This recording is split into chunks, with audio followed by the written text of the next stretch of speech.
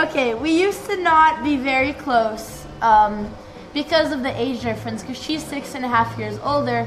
She went to college while I was like in middle school, so you know, of course, there's a very big age gap. But you know, unexpectedly, Alex came to quarantine with her family, and we weren't expecting it to do so well. And I wasn't expecting that Twitch was going to be what brought us together.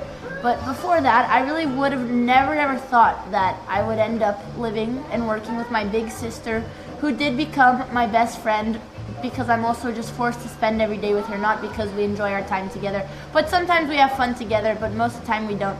Um, but she did become my best friend, and I think I learned a lot more than I would have at any four years at college. So, somewhat, she was a good teacher, I guess you could say that.